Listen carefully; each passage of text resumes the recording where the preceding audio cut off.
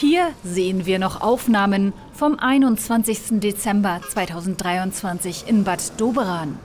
Etwa 100 Traktoren fuhren in einem Korso von Reddelich in die Münsterstadt.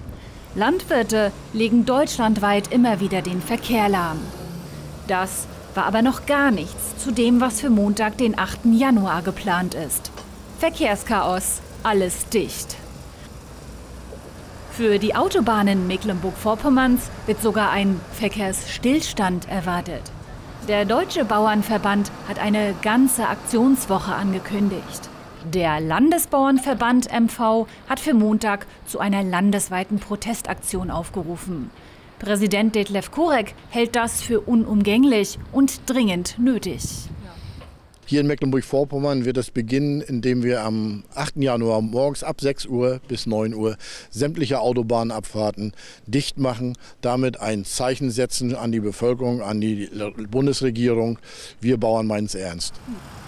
Solidarisch teilnehmen werden auch viele Unternehmer wie zum Beispiel Ärzte, Bauern, Gastronomen oder Zimmermänner.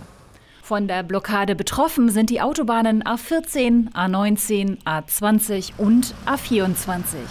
Die Landwirte protestieren vor allem gegen die Sparpläne der Bundesregierung nach dem Haushaltsurteil des Bundesverfassungsgerichts. Viele Bauern sehen ihre Existenz bedroht. Es wird sich auf die Herstellungskosten auswirken. Wir können als Landwirtschaft die, äh, äh, die äh, Kosten nicht eins zu eins umlegen. Das werden die Betriebe tragen müssen. Das wird unsere Wettbewerbsfähigkeit im europäischen Maßstab innerhalb der Europäischen Union erheblich einschränken. In anderen Ländern ist es durchaus gang und gäbe, dass Agrardiesel vergünstigt wird beziehungsweise sogar Heizöl gefahren werden darf und ähnliche Sachen beziehungsweise sogar ganz steuerbefreit ist. Also hier ist ein Wettbewerbsnachteil für deutsche Landwirte im europäischen Kontext Konzert.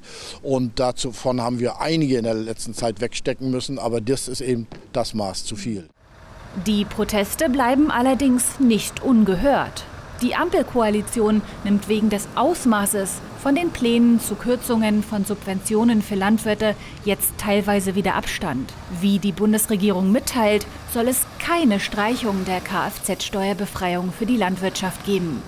Die Abschaffung der Steuerbegünstigung beim Agrardiesel werde zwar vollzogen, aber nicht in einem einzigen Schritt. Was halten die Landwirte davon?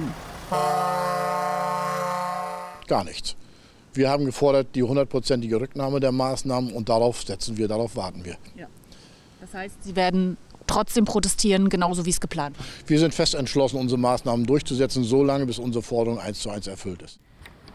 Detlef Kurek betont auch, die Proteste finden auf Grundlage der Verfassung der Bundesrepublik statt. Gesetze werden nach dem Versammlungsrecht eingehalten. Ob hier der Straftatbestand der Nötigung nach 240 StGB greift, sei mal dahingestellt.